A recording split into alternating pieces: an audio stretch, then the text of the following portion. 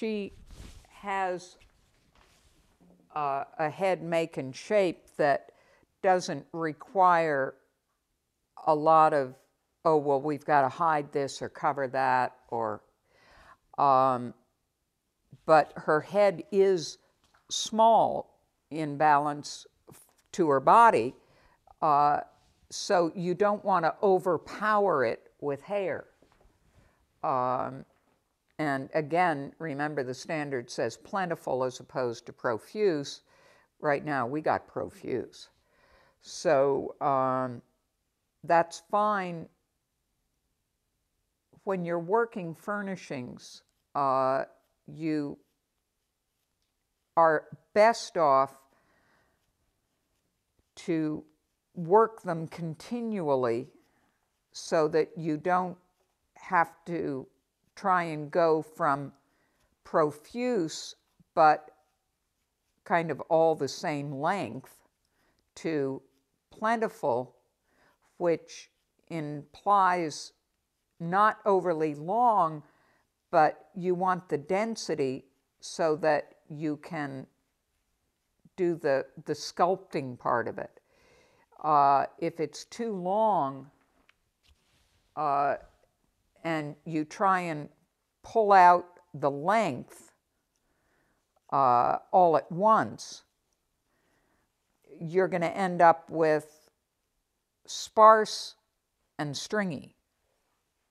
So that's why when you're working a coat, you don't want to neglect the furnishings. While you're working that coat, you're working the furnishings too. It's not like a schnauzer where you're going to be scissoring the furnishings for the most part, so it really doesn't matter. Um, you've got to uh, be working those furnishings the whole time. And I'm hoping we'll have a chance to work on one of the babies in a little bit because where furnishings are concerned on young puppies, I'm ruthless. Uh, and the reason I'm ruthless is because regardless of what that puppy has by way of leg and face hair, it's not anything you're going to want to preserve. And the sooner you get rid of it, the sooner you're going to start getting real hair. Uh, basically, what I'm doing with Sophie now, and she's being very good and patient, is uh, just taking a layer uh, off her back skull and cheeks. This is something that Oh, you want to do. What knife are you using? I'm using a fine, uh, you know, it's one of any one of a number of. The original pattern for these was made by Resco back in the 40s and 50s. Uh, and since then, we went through a period when there weren't any good knives unless you had some old Rescos. Uh, I did have a set. Peter Green stole two of them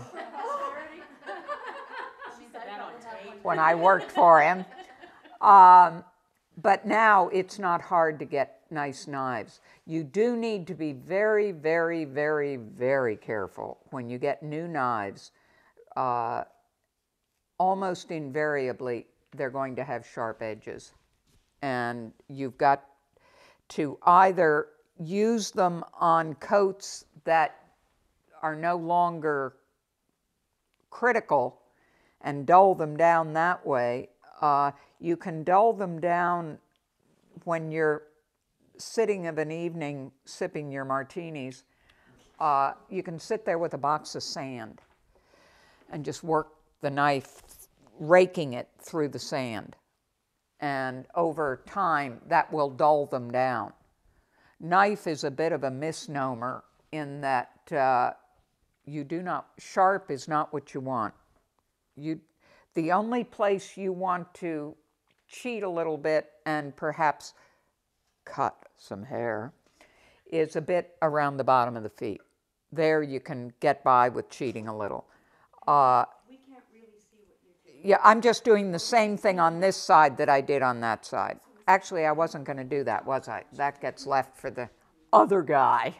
That's for daddy to do. Talking about ruthless with puppies on the furnishings, puppy, you talking up to twelve months, or you talking fifteen? Well, I'm saying I do it on, when I sort through my puppies at seven, eight weeks and decide what I'm keeping, anything that I keep, because they look like blazes after you do it. I mean, they're no longer, oh, how cute.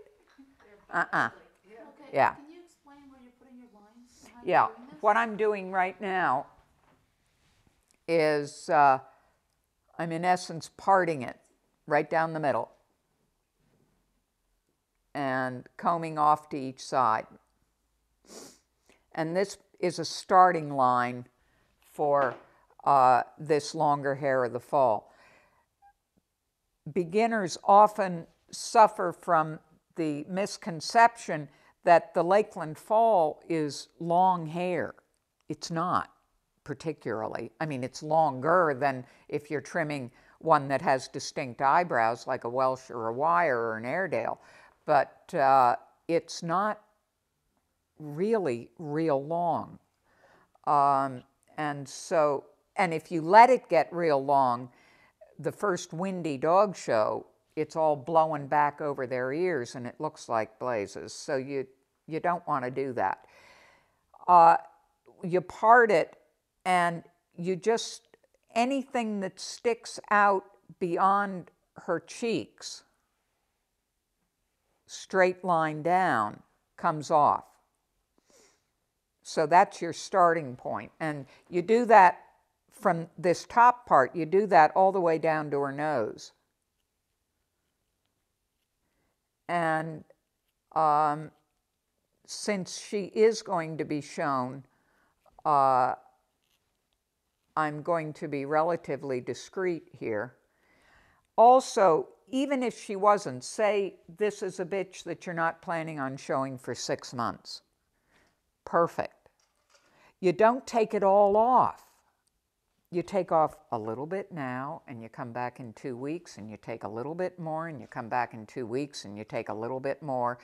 And, you know, two, three, four months down the road, then you've got this built up in layers. And it's those layers that are going to hold the shape. And that's true of their legs as well. What you want are layers of hair from very short to the longest hair. And uh, that's when the furnishings are going to hold together with a minimum of uh, enhancement.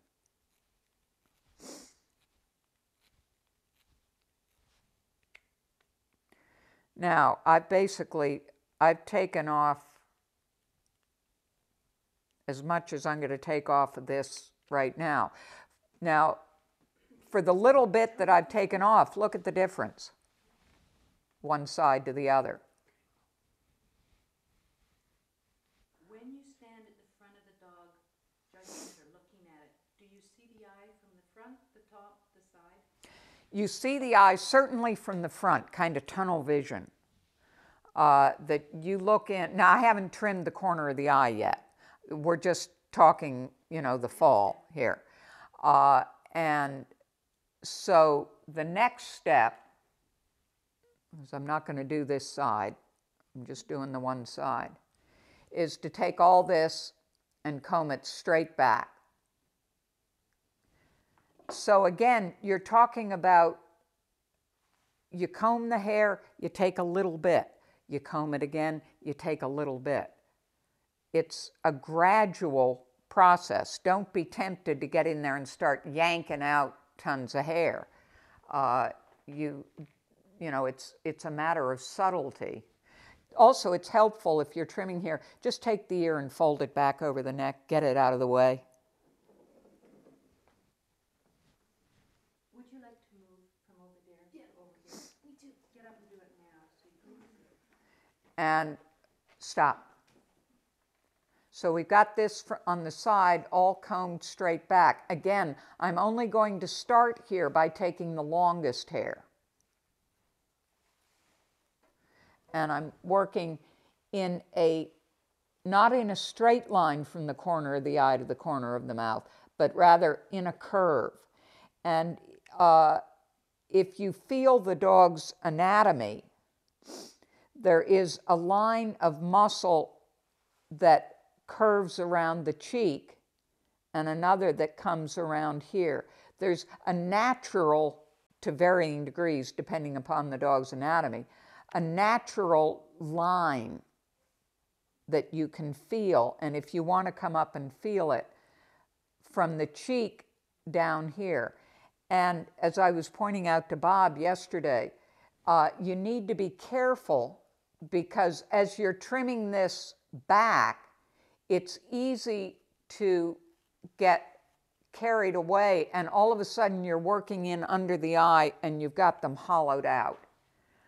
Um, so I just took this longest hair, I know, honey, uh, and am taking it off. As it comes down to the jawline here, you don't want anything sticking down below the jawline. So I've, I'm going to still have some work to do here at the corner of the eye, but uh, for right now, this is as much as I'm going to take off here. I'm going to bring this up now so that I expose this line under here without taking off a lot more here. Because again, this is going to be an ongoing process as you build up the, the layers underneath her. Now I'm going to take corner of the mouth straight back and I'm going to take all of this off. You don't want any of that. Um, one, it's going to break this clean line under her throat. Uh, two, if she starts panting, this is all going to stick straight out and it's going to look like crap. So uh, you want to go to the corner of the mouth and take all of that out.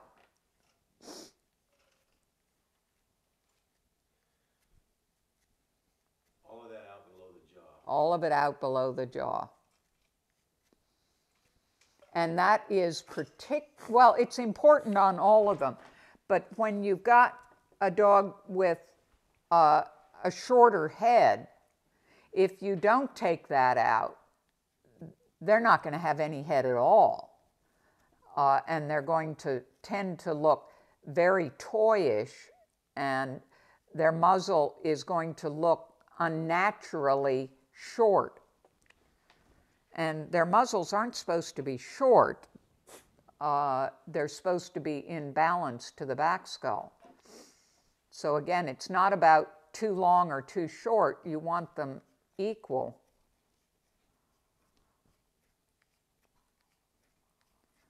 So, uh, you want to get all of that out. And then you just keep going down the chest.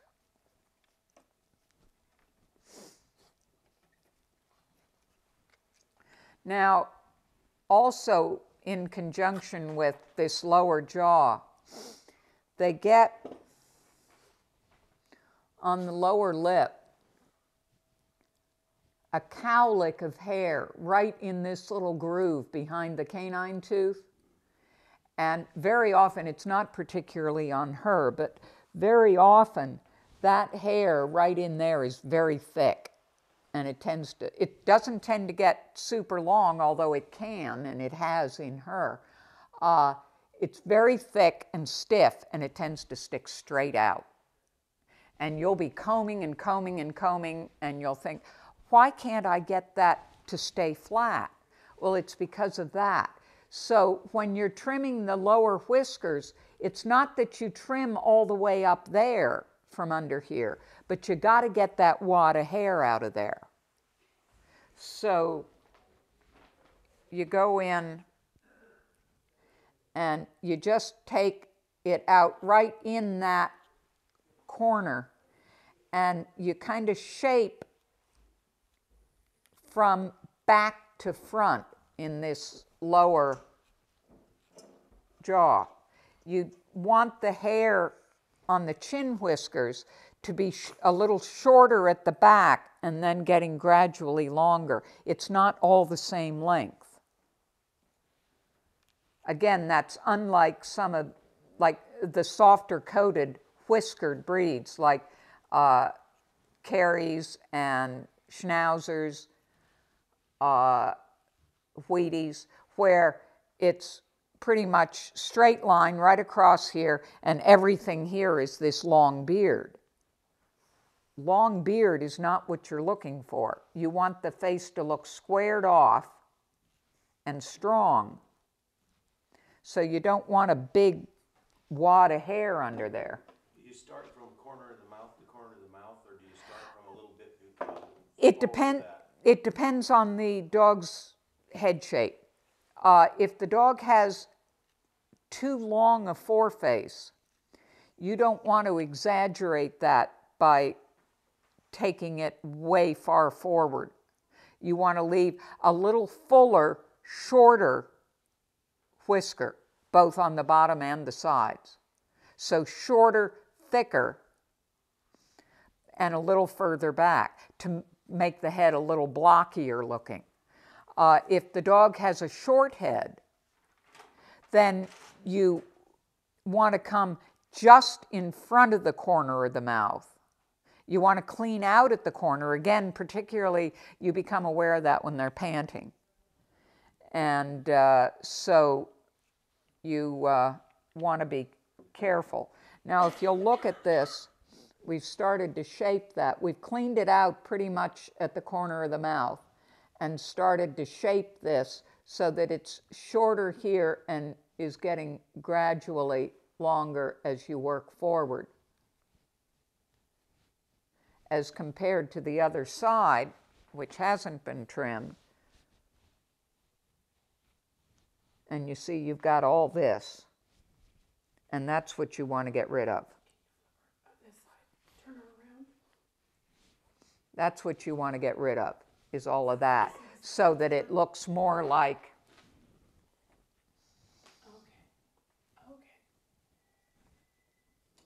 like that. And that way, with this, as you build up shorter, thicker hair here at the back, it's going to tend to hold the whiskers forward. And uh, you won't need to be constantly, every two seconds, doing this, trying to keep it all together. It, as you build up those layers, they hold themselves together. So now still got a few. Now that we did under here, you notice we've got some tags here that have become apparent that we need to tidy up. And again, the temptation at this point is oh, well, there's another taggy hair. I need to take that. Oops, there's another one. Oops. And all of a sudden, you've got nothing left. Uh, so be patient re- realize that you're not going to be able to go from this to perfect in one trimming. It's not going to happen. It's going to take several months. Trimming any broken coated terrier takes patience. And if you start doing shortcuts now, oh, well, I'll just go in that with a thinning shear, no one will ever see it. They will. And over time, you're going to soften the coat and uh, you're going to lose color. And then, all right, how much chalk do I use?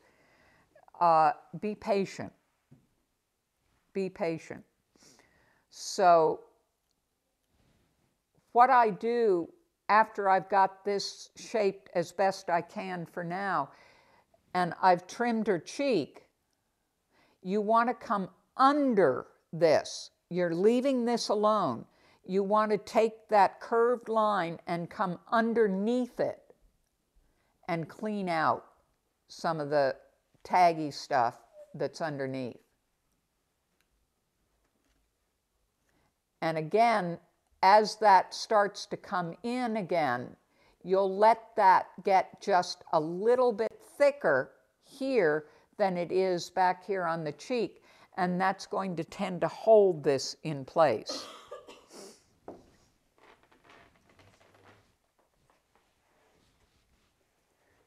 Now, last thing we do is we've combed, we parted it, combed it out to the side, we've combed it straight back on the side and trimmed.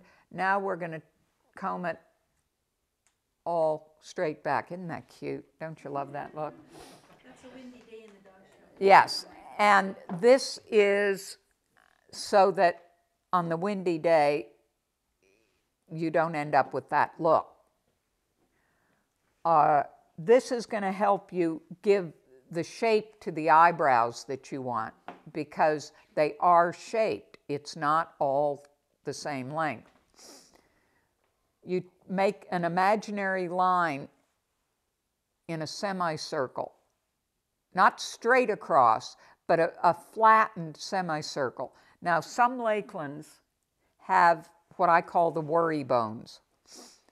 Uh, they'll tend to have a prominent bone right here above the eye, uh, right as right at the stop, and this can vary in intensity from relatively obscure. Even on a nice flat headed bitch like this, you can still feel it. It's the brow.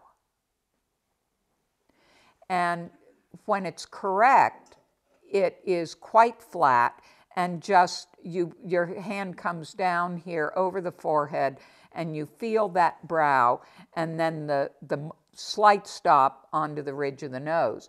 But in some dogs this bone can be quite prominent. You can have a furrow in the brow that isn't, it's partly bone and partly muscle. Uh, it's a combination of both.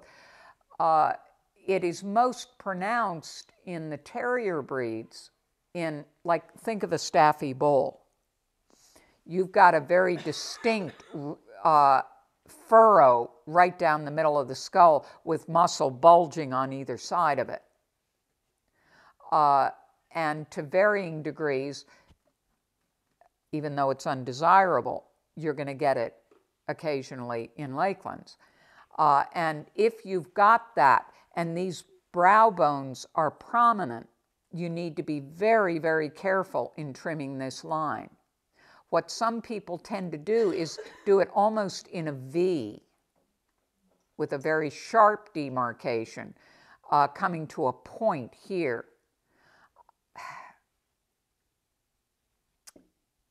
it's then easy to get a hollow spot behind the brow. And it's common in Airedales where the planes of the head, instead of being parallel, one just slightly above the other, they come to a crown like this, right above the right at the brow, and they're almost down faced. You don't often see that in lakelands. You do see it in Airedales and occasionally in Wires. Um, but uh, whereas you won't get quite that down face look, you will get these bumps. So you've got to factor that in and uh, be careful in your trimming to cover those with hair, but it's got to be very short hair. And it's got to be blended in uh, so that you really have to put your hands, your fingers right in those spots to feel them. Otherwise, they're not going to be readily apparent. Now, here, this is quite long. I mean, heck, it goes practically halfway back to her occiput. You don't want that, especially on this little girl. So, again, I'm not going to be able to take it all today, but we're going to take some of it. What's the process of thinking you go through to determine exactly how much you do or don't take of that? I draw my imaginary line and I figure that as much as I would like to try and make it perfect, uh, not going to happen. And don't keep working your way down in an effort to make it perfect, or you're going to end up with nothing. And you say, okay, fine, well, then I start from scratch. No, because it's all going to come in at the same time. You want it coming in in layers, and that's why little bit at a time. Now, you notice the difference here as opposed to the other side. Now I'm going to come down around her eye. Yeah, who's that? Company. And come into the corner of the eye. At the corner of the eye, you want it very, very, very, very short. You want it to come right to the corner of the eye. You don't want any hair sticking out beyond that. And uh, again, on her, there's going to be some little bit sticking out. You're not going to get it absolutely smooth yet. You also then, after you've trimmed this, then you can comb this off to the side again and just even this up a bit so that uh, she's got an eye there to see. Uh, again, if you've got a dog with either an eye that's a little light or an eye that's a little large, the idea is not to try and cover it with long hair and hide it. The idea is have the hair short and thick. It's going to do much more to diminish the size and deepen the eye set than having the hair long and in the way.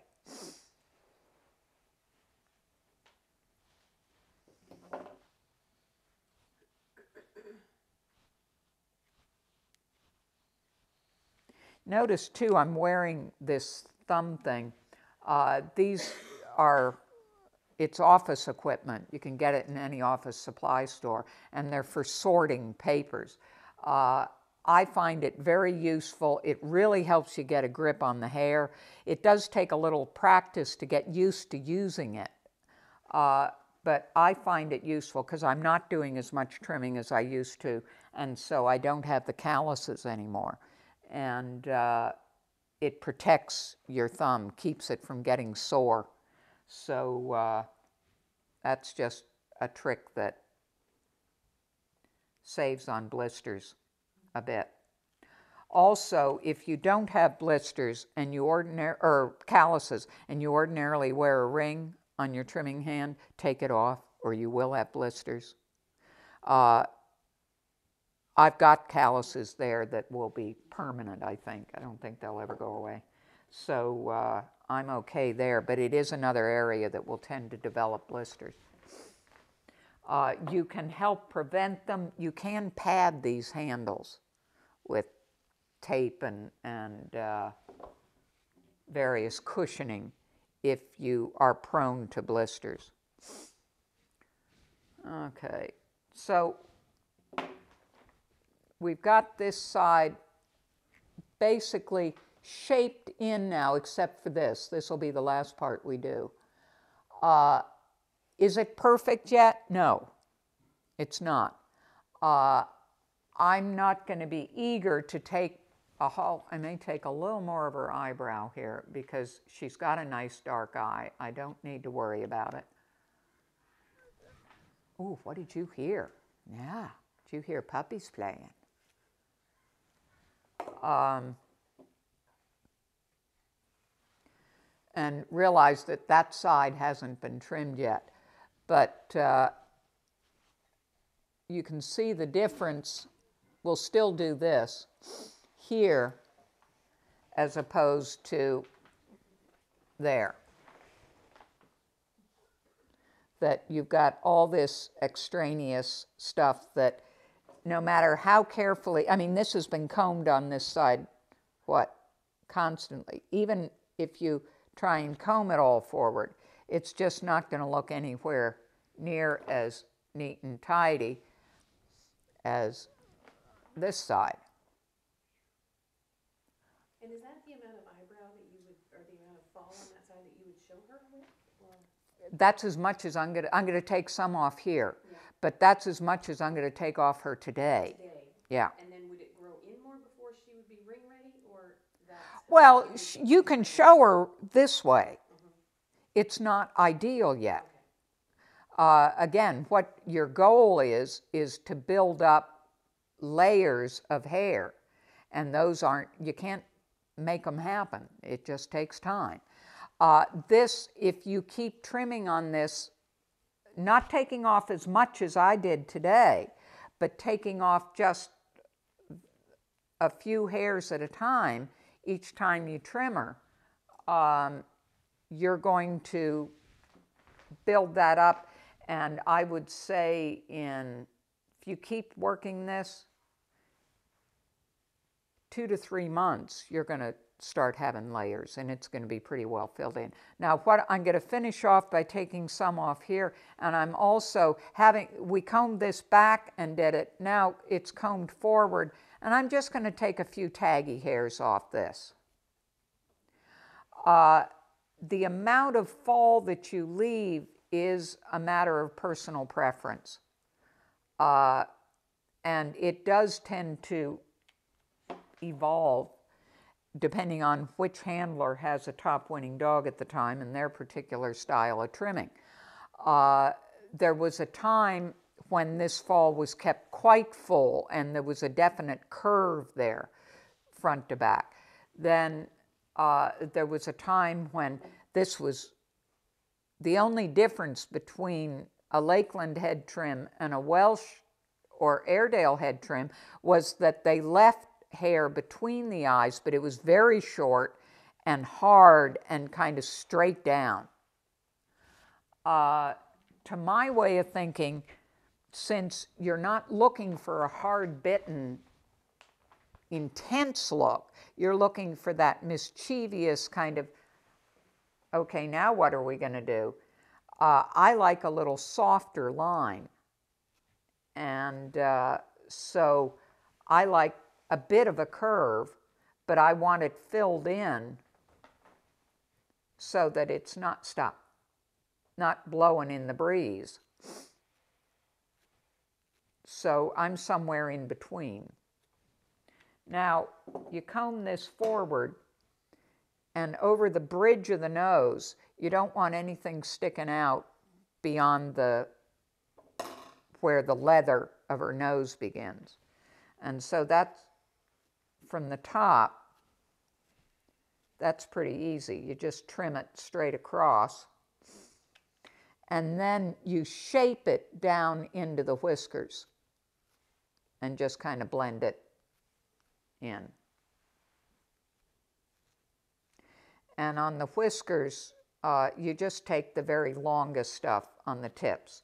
Now, on a short head like this, and I'm not saying her head's too short, but it's a short head.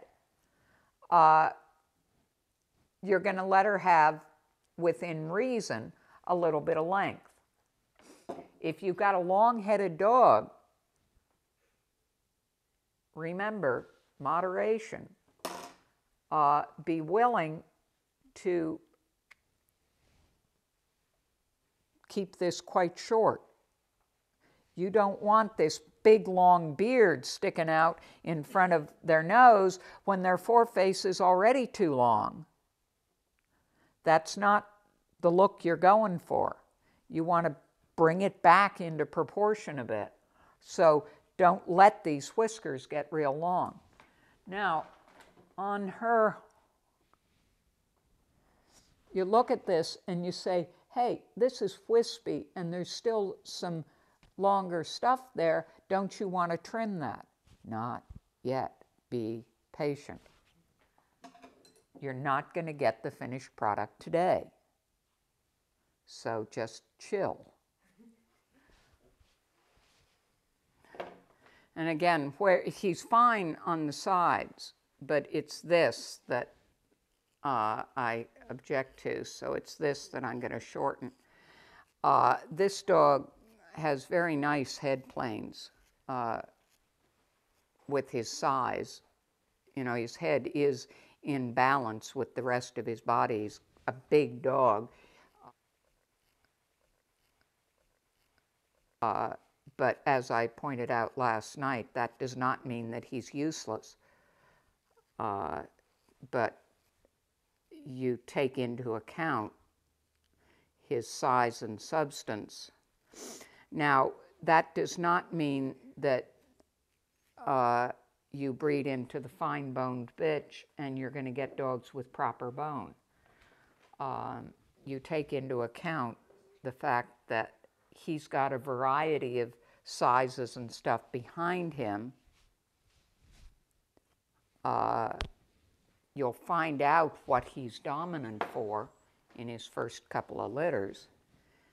And recognize that if you breed the small, fine boned bitch to him, you're going to get some of each.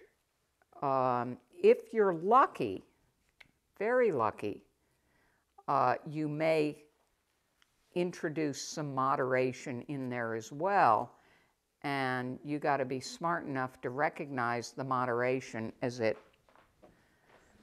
uh, comes up and work then with that. So, yeah, you're way ahead breeding moderate to moderate, but you, uh, even in those moderate dogs, size is something in this breed, and that's not something I pointed out last night, and is also a factor in judging and breeding these dogs. Size in Lakeland Terriers does not breed true. You can establish size within a given line, and that will breed, tend to breed true. But big does not always produce big, little does not always produce little. Uh, I was really fortunate when I got started in Lakelands. My first stud dog was a dog not unlike this. Uh, he was a magnificent dog, incredibly sound and beautifully coated. Had a wavy coat though.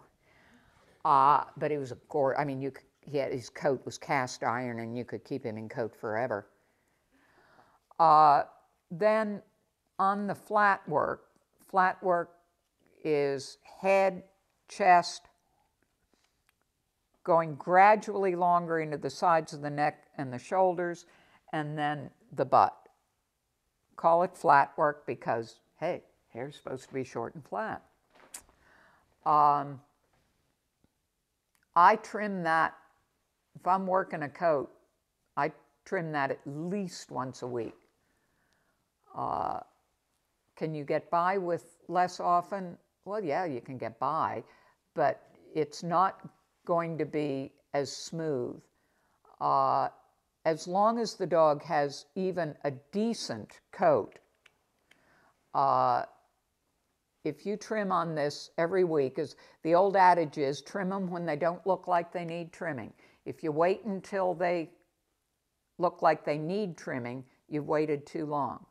Uh, if you've got a, a dog with a heavy, really good heavy coat, dense coat, uh, and you want them looking really sharp, you'd better be prepared to trim on them a couple of times a week and go over the flat work. I, I know when Margie was showing Flirt, she used to say, I've got to trim this bitch between the breed and the group. Uh, she grew hair. And when you've got a very active coat that's being worked all the time, you'll trim them and you say, wow, perfect, whoa, have I, am I good? And you look at them a couple hours later and you're like, what did you do, dog? And they never grow it where you want it, only where you don't.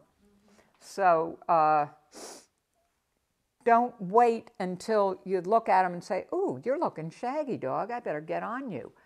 Um,